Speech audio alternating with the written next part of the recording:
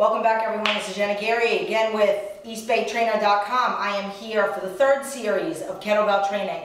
Next exercise I'm going to show you guys is a clean and press. Okay, I'm going to start you at the top position of your clean and press and teach you how to lower it because it's a lot easier to teach lowering it than getting up into the position.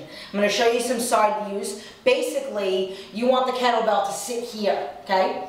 And again, you're to do the same thing. You're to drop that kettlebell and swing it like you're swinging it behind you. But your thumb right now is facing you. You want to make sure that thumb turns in as you swing down. So slow movement, swing in, swing back, and then up. So swinging back and then up so that there's not a lot of hard landing on that wrist. You sit into it, because eventually this exercise is meant to be done with heavy weight, so you're to need that power from the hip to drive up into a press, back down, sit on the hip. Swing down, sit, power, here, swing, sit, power. Okay? So, try that out, see how it feels. Start light before you start going really heavy. Look forward to our next one.